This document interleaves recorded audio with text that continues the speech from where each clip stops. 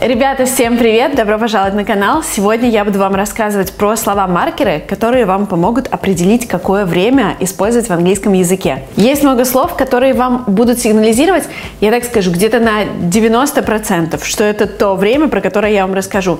Всегда есть исключения, всегда вы встретите, обязательно потом услышите какое-нибудь слово, которое я назвала с абсолютно другим временем, потому что американцы, британцы и вообще люди, которые используют английский язык в повседневной речи, очень часто часто и делают ошибки, и эти ошибки укореняются. И как бы с точки зрения грамматики формальной, может быть, это неправильно, но с точки зрения разговорной речи никто вас за это не будет ругать. Но если вы пишете тест, если вы сдаете экзамен, вот когда вот эти слова, обычно люди, которые составляют тесты, вставляют их специально, чтобы проверить, знаете ли вы, что конкретно это слово указывает на конкретное время. Поэтому если вам это важно, если вам это интересно, если вы тоже путаетесь во временах, как и 99% изучающих английский, то продолжайте смотреть это видео. Мы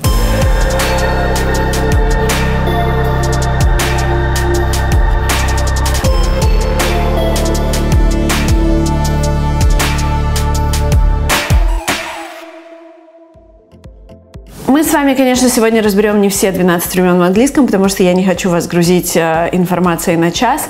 Я хочу вам дать э, слова по основным временам. Чаще всего мы путаем прошедшее и present perfect, да? Э, мы часто путаем present и uh, present progressive или present continuous, как его называют в британской системе грамматики или в некоторых школах.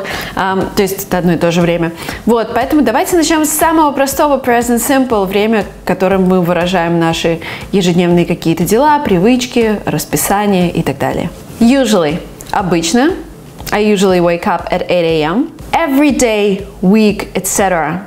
То есть каждый день, неделю и так далее. Often – часто. Seldom или можно сказать rarely. Rarely более американское. Редко. Always – всегда. Never – никогда. Sometimes – иногда. As a rule – как правило – As a rule, I wake up at 8 a.m., можно так сказать. Hardly ever. Hardly ever – это такое более сильное выражение. Hardly ever do I sleep for 12 hours. То есть очень редко, едва ли я когда сплю так долго. On Sunday – воскресенье. Today – сегодня. From time to time – время от времени. Итак, если видите эти слова и понимаете по контексту, что мы говорим про какое-то действие, которое повторяется регулярно, каждый день, оно у вас там записано в расписании, каждый понедельник, каждую среду, каждый вторник, это present simple. Следующее время у нас past simple, простое, прошедшее время, в котором мы не фокусируемся на результате, ни на чем не фокусируемся, просто констатируем факт того, что что-то произошло в прошлом. Итак, слова-маркеры для этого времени. Yesterday – вчера, the day before yesterday – позавчера, last week, month, year, на прошлой неделе, в прошлом месяце, году и так далее. A week, a month, a year, ago. Вот это слово ago, оно вам вообще сразу должно так в голове. Опа, ago, это past simple. То есть неделю, месяц, год назад. The other day, на днях. In 1994. In 1994 или любая точка в прошедшем 1994, 90, 5 мая 2015 и так далее. Once – однажды. When – когда. И, соответственно, мы после этого when должны вставить какое-то событие в прошлом, которое нас перекинет в тот момент. At 3 o'clock, если это в прошлом, если мы понимаем, что это уже было. That day – в тот день. Кстати, ребят, если вы все это хотите записать, если хотите, чтобы у вас это все осталось, мы подготовили специальную памятку. Ссылка внизу. Значит, в этой памятке, помимо времен, которые я назвала, еще есть дополнительные времена, то есть их всего 7 со словами-маркерами. Там тест на определение вашего уровня языка именно по временам мы сразу разделили по уровням. Там список неправильных глаголов. Что такое неправильный глагол? В past simple они не с помощью ed образуются, да, они walk, walked, а, например, put, в прошедшем времени тоже put. Ну, то есть, которые нужно запомнить. И сделали табличку, как образуются времена. То есть это такой ваш гайд, мануал по английским временам.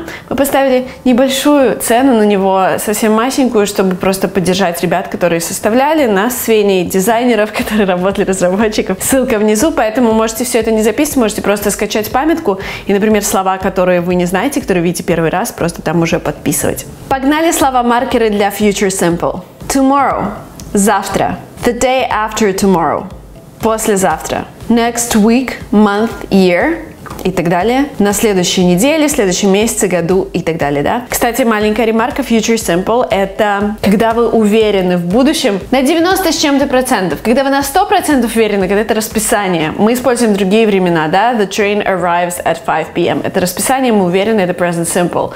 Future мы как бы немножко, ну, у нас нету прям стопроцентной информации, это не расписание, это просто, вот, не знаю, my friend will come in an hour.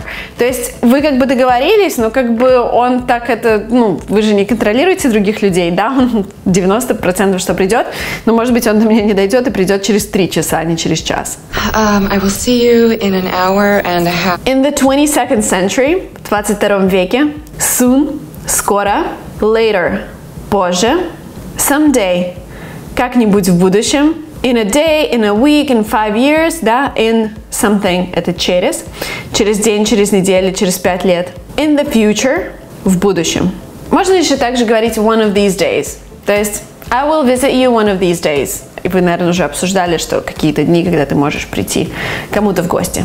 Следующее время present progressive или present continuous, то есть то, что происходит в данный момент времени. Слова-маркеры. Now, сейчас, right now, прямо сейчас. At the moment, в данный момент. Today, сегодня.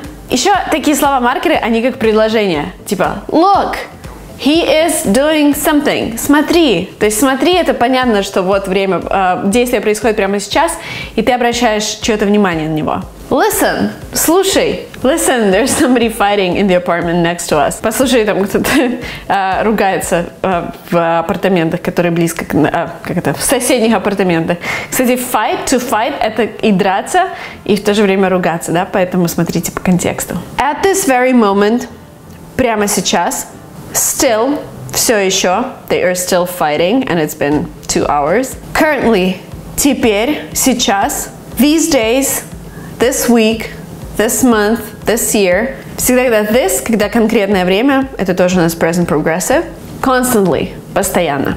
Кстати, в табличку, которая внизу, мы добавили для вас время past progressive и future progressive, то есть когда действие идет длительное время в прошлом или длительное время в будущем, и там будут как раз вот эти вот слова-маркеры тоже. И завершим временем, которое все очень любят путать с прошедшим, время present perfect, да, потому что мы в нем описываем действие, которое имеет результат в настоящем, поэтому мы постоянно путаемся, что использовать. Но очень важно, что вам нужно запомнить, это то, что present perfect, да, это настоящее время. Просто мы описываем результат, который мы имеем сейчас, в зависимости от того, что было в прошлом. Как отличить от прошлого времени? Мы вот фокусируемся а, на том, что реально произошло. Мы не фокусируемся на каких-то деталей того действия, да, типа, если вот такой конкретный пример, I have eaten, это я не голодный, мы переводим, да, я сейчас не голодный, хотя если посмотрим на конструкцию, там э, глагол в третью форму уходит и так далее, кажется прошедшее время. Нет, I have eaten, мы правильно переведем я не голоден, да. А если I ate pizza for lunch yesterday, Здесь нам как бы уже не так важно, мы не фокусируемся на том, сейчас ты голоден или нет, мы фокусируемся на том, что в прошлом ты ел пиццу, уже добавляются какие-то детали, действия, только они добавляются, все, это уже понятно, что это past. Вот, ну и естественно слова-маркеры, да, всегда на них смотрим. Ever, never, just, already, yet. Все помнят, да, со школы. Ever, когда-либо, never, никогда, just, только что, already, уже, yet, еще, recently, недавно, lately, в последнее время, before, до этого, always, всегда, so far, на сегодняшний день, at last, наконец-то, it's the first time, впервые, all my life, всю мою жизнь, или всегда там all my life, all morning и так далее, когда какой-то продолжительный период, имеем результат сейчас. На этом у меня все, ребят. Это сложно, времена это сложно, времена нужно постоянно повторять. Очень рекомендуем скачать памятку, распечатать, как формируются времена. Вот эти вот все слова всегда держать под рукой и всегда, естественно, смотреть на контекст. Эти слова для вас маркеры, они у вас должны включить в голове понимание, так, скорее всего, это время, но дай мне, пожалуйста, перепроверить контекст, чтобы я точно был уверен, что что я иду по правильному пути. И тогда вам будет намного легче определять, что это за время.